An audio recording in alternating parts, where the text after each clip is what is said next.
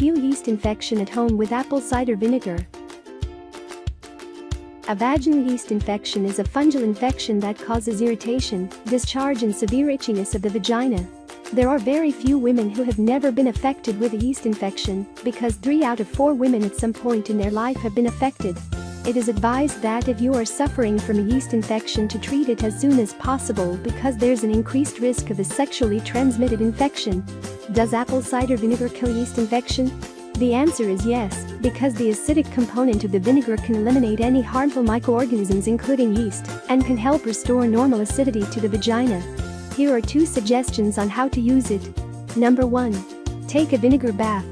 Add 2 cups of vinegar to a shallow warm bath.